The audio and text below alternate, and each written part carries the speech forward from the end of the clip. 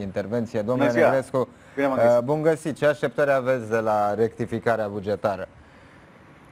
Ah, dacă și asta e rectificare pozitivă și care este să fie sustenabile, înseamnă că nu mai știm economie. Ne, ne apucăm să rescriem cărțile de economie. Nu e un deficit major, cum numai în pandemie s-a înregistrat sau poate într-o perioadă de război. E un deficit care este finanțat din împrumuturile externe ale statului român, adică ne împrumutăm ca să avem cu ce să acoperim toate cheltuielile, iar această rectificare, din această perspectivă, e una negativă.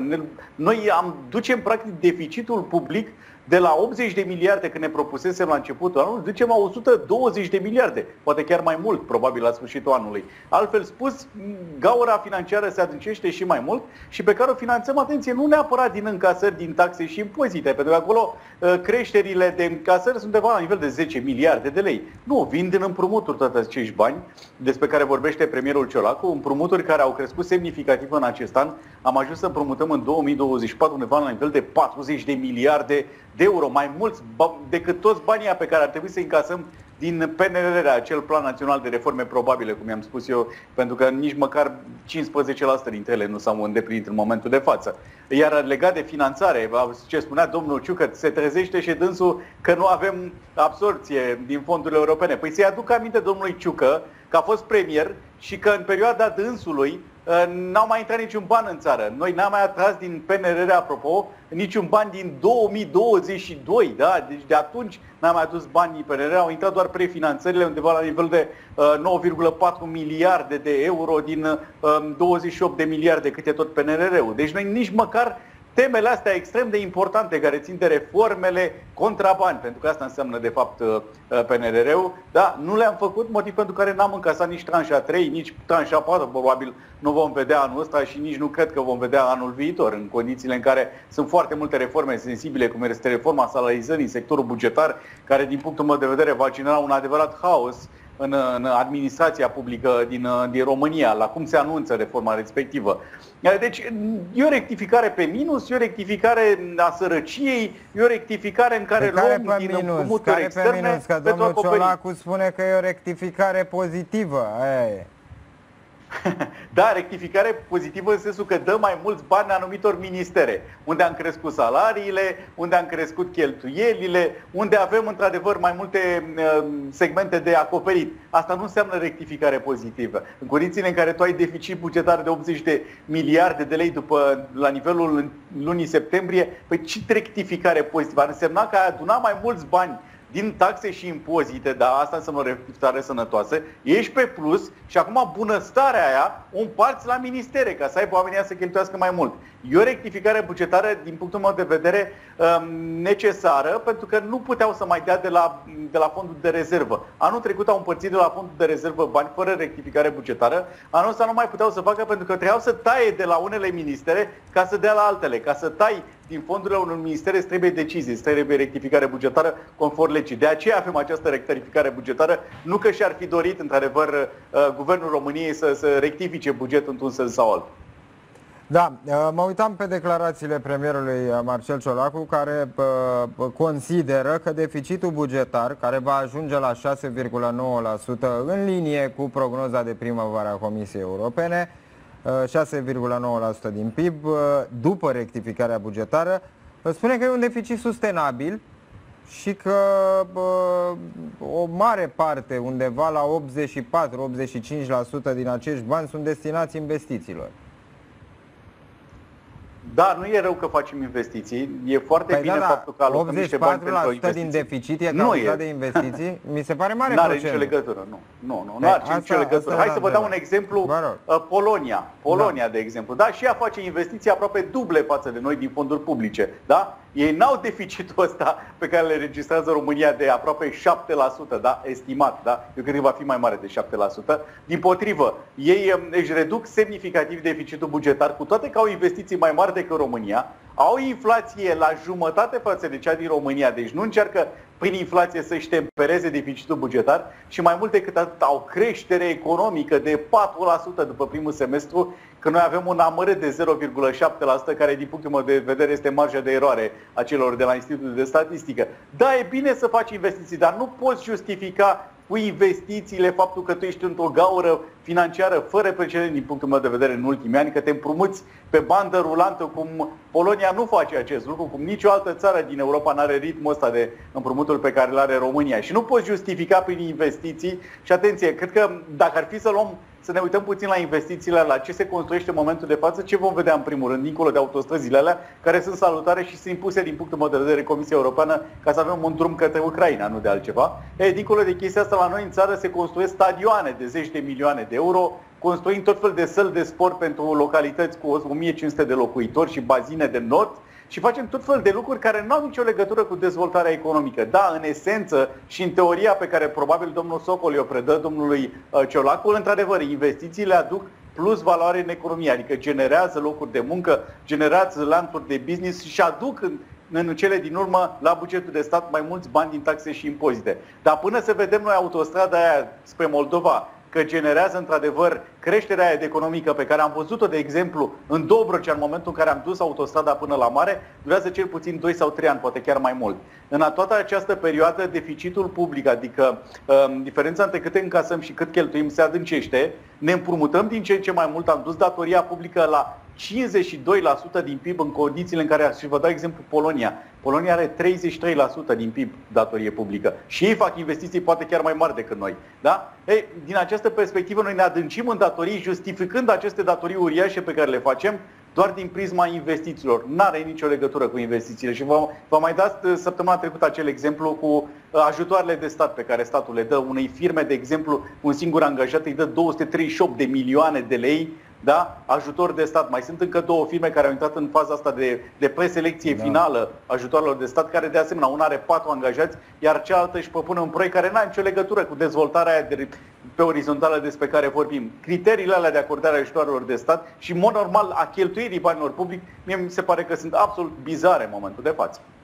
Hai să comentăm puțin și declarația lui uh, Nicolae Ciucă privind absorția de fonduri europene, pentru că eu mi-amintesc foarte bine niște declarații venite de la Nicolae Ciucă în momentul în care era premier, înainte de rotația guvernamentală, în care din contră se lăuda cu absorția de fonduri europene, cei drept pe un program care, dacă nu pe mă exercițiu înșel, anterior. Pe exercițiu, pe exercițiu anterior, la care anterior. cumva era logic să fim la un nou, era o problemă dacă nu eram la un 90 și ceva la sută grad de absorție, că înseamnă că în tot exercițiul anterior cineva sau cei care s-au perindat pe la guvernare și pe la Ministerul de Resort nu și-au făcut treaba. Adică acolo e clar. Acum, pe exercițiul ăsta 2021-2027, uh, iarăși suntem undeva la 3%, deși, spune Nicolae Ciucă, deși suntem la jumătatea, uh, jumătatea perioadei. Și apoi mai apare o chestiune. În această perioadă, în do- între 2021 și 2024, Până să vină domnul Câciu la fonduri europene, a, a fost, fost domnul Boloș. Boloș la fonduri europene, uh, care, din câte știu eu, e pus de liberali. Adică... Și de-aia vă spuneam la început emisiunii, că comentând această declarație, că nu înțeleg de ce domnul uh, Ciucă o face, de parcă ar fi, cum să spună, un fel de... Um, Ehm, în afara acestui, uh, acestei decizii politice și administrative pe care, la care dânsul a fost părtaș în calitate de premier în toți acești ani. Mai mult decât atât, este parte a guvernului României. Dacă domnul Ciucă este supărat pe faptul că nu avem absorție, ar fi trebuit să le ia pe domnul Ciolacu de o mână și să se șeze la masă și împreună cu ministrul ehm, de, de resort, adică domnul Căciu de la fonduri europene, cu domnul ehm, Boloș de la finanțe și cu ceilalți miniștri, să vadă într-adevăr de ce avem mai 3%.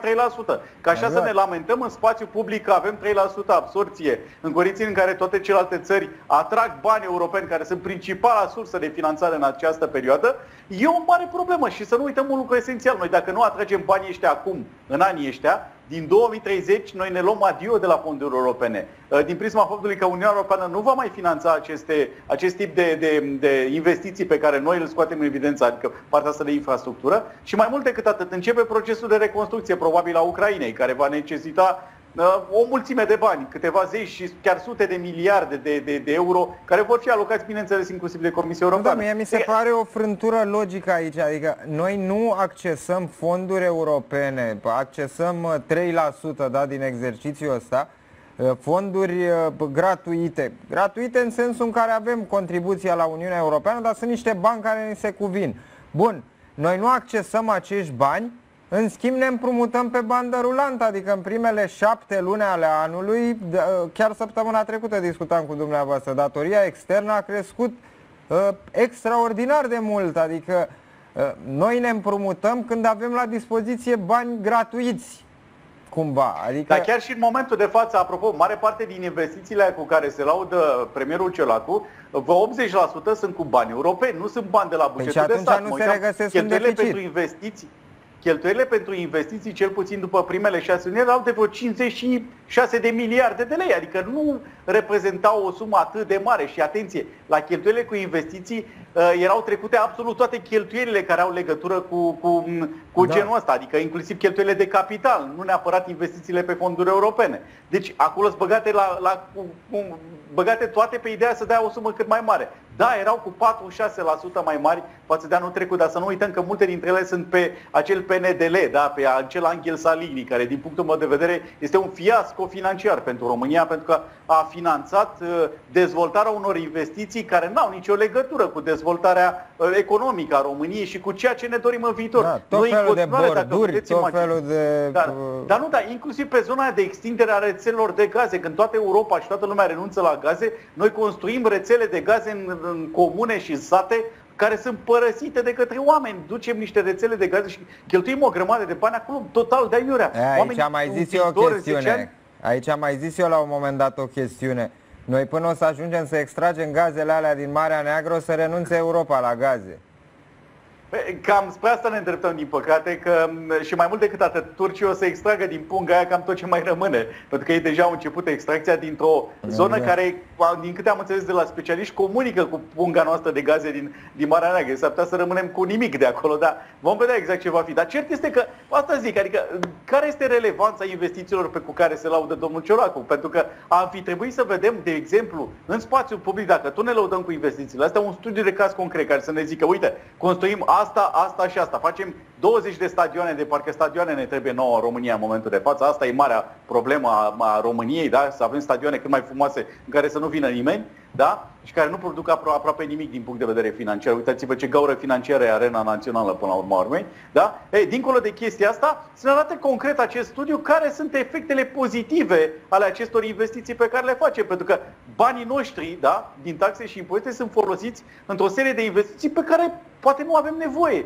Poate nu ne trebuie să schimbăm bordurile în fiecare sezon, uh, mai ceva ca um, bordurile astea meteosensibile despre, despre ele vorbeam, să punem panseluțe și să mai facem tot felul de, de, de, de lucrări care nu au nicio legătură cu ceea ce ne dorim noi. Școli, grădinițe, spitale, e, păi uh, aici intervine, de aici intervine rectificarea bugetară și dacă vă uitați la domeniile câștigătoare, educația, Uh, sănătatea și transporturile sunt uh, pilonii principali uh, ai câștigătorilor după această rectificare bugetară.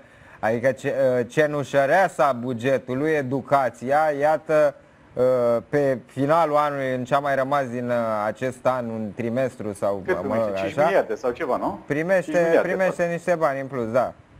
Păi da, dar aia se bani pentru salarii, nu pentru altceva. Nu e ca și cum am construit noi acum deodată grădinițe, școli și, um, și creșe, da, de care avem cu adevărat nevoie. Și Pe care să începem să le construim experiență. după ce a început școala. Da, nu, sunt, sunt salariile crescute, decise de, de, de autorități din PIX în anul electoral pe care trebuie să le, să le ducem în practică. Da, de aceea se cresc salariile, nimic altceva de am ajuns să avem o anvelopă salarială dublă în sectorul bugetar față de acum 5 ani de zile. Ca? Despre asta este vorba. Nu facem noi. Da, la transportul da, se mai, miș- mai mișcă ceva, dar v-am spus, împiși la spate de Comisia Europeană pentru a construi acea autostrada Moldovei, care va duce din punct de vedere logistic tot ce înseamnă transport esențial pentru, pentru Ucraina. În rest, dacă vă uitați pe celelalte șantiere, cam bate vântul din punctul meu de vedere, iar pe zona de, de infrastructură feroviară de care ar avea cu adevărat nevoie România, nu vedem că mișcă foarte, foarte multe lucruri. Mai am două întrebări, domnule Negrescu, tot așa pe două declarații. Una îi aparține premierului Marcel Ciolacu în legătură cu această rectificare bugetară. A mai spus, da, aceasta va fi pozitivă și pe venituri. De unde atragem atâtea venituri? Că reducere de cheltuieli n-am făcut să zici că mai salvăm din partea, din partea respectivă, deci reducere de cheltuieli Uh, foarte consistente n-am făcut. ANAF, într-adevăr, a colectat ceva mai mult în ultima perioadă, dar insuficient cât să acopere diferența asta între cheltuieli și venituri. În rest, de unde? Din împrumuturi? De unde atragem venituri?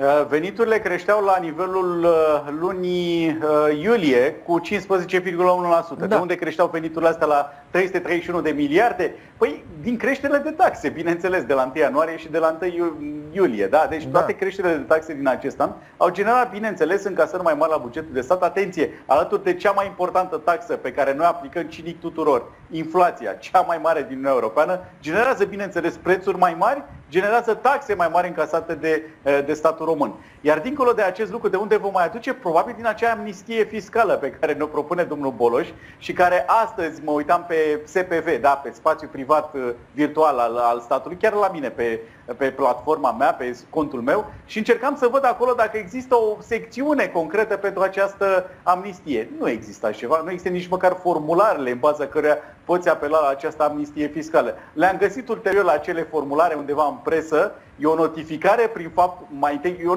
notificare pe care tu să o trimiți fiscului că vrei să beneficiezi și după aceea mai depui încă o cerere și atenție, documentele astea nu le poți depune prin SPV online.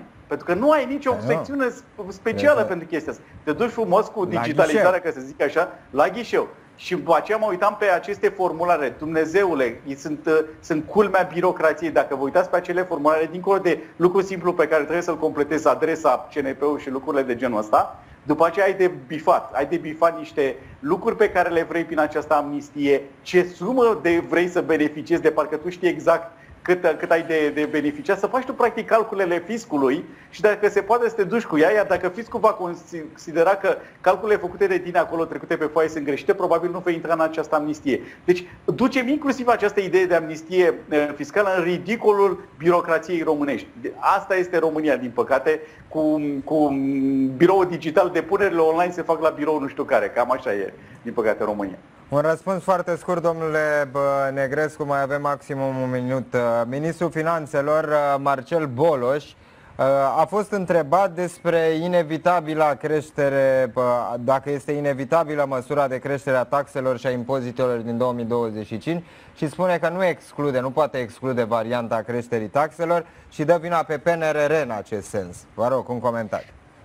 Da, pentru că, din păcate, spațiul de, de, de analiză al fiscului, al, al autorităților, spațiul de manevră, de fapt, din punct de vedere economic, se îngustează pe zi ce trece um, pe fondul creșterii datoriilor, da? pe fondul împrumuturilor cel mai mari și, și a încasărilor din ce în ce mai mici din, din, din economie, economie care pune frână. Ei, în condițiile în care economia pune frână, împrumuturile deja au atunci la un nivel maxim care este semnat inclusiv de către fici, uh, s-ar putea să ajungem, din păcate, la creștere de taxe. Eu sper să nu ajungem acolo și să găsim alte soluții. O soluție, de pildă, ar fi vânzarea pe bursa de valori București a unor companii publice, de forma căreia să adun câteva miliarde de euro și să salvezi într-un fel sau altul bugetul pe anul viitor, fără să crești taxele, pentru că această decizie de creștere a taxelor va duce economia în recesiune și ne vom trezi, din păcate, înapoi într-o problemă economică majoră, cum n-am înregistrat în ultimii 10 ani.